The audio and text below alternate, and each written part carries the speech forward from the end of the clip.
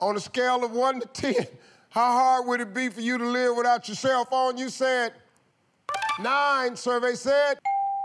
Yeah, okay. Name a holiday you stay off the roads because of all the traffic. You said that bumper to bumper 4th of mm-hmm. July traffic.